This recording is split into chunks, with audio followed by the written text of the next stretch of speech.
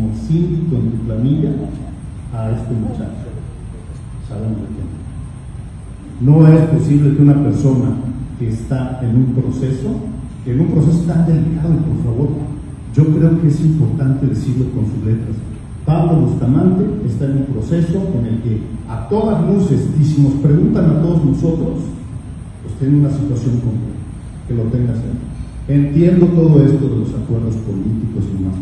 Pancho Córdoba me pidió que leyera algo, algo que no me voy a permitir leer tal cual, pero lo voy a decir. ¿Cómo es posible que tengamos estos acuerdos que son inclusive hasta perversos, con personajes que le han hecho tanto daño al Estado, que sabemos que Jorge Emilio está atrás, y lo digo con todas sus letras y con todo su nombre, porque nadie al final lo quiere decir y todos lo piensan.